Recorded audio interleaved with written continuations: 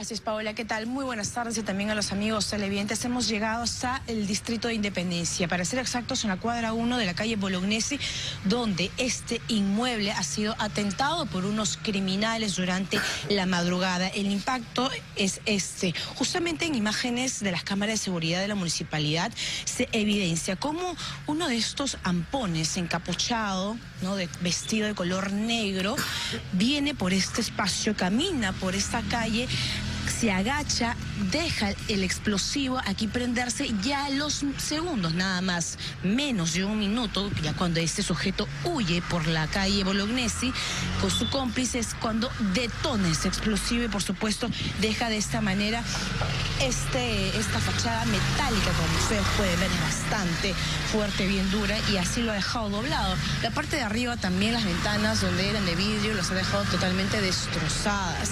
Ahora, la hipótesis que se maneja de este atentado Paola es eh, aparentemente cobro de cupos de un eh, establecimiento, un gimnasio que operaría en el quinto piso de este inmueble en Independencia. Ahora los vecinos están totalmente mortificados y asustados por este impacto porque estamos hablando de un atentado no en una avenida principal o comercial, no, estamos hablando de una calle, ¿no?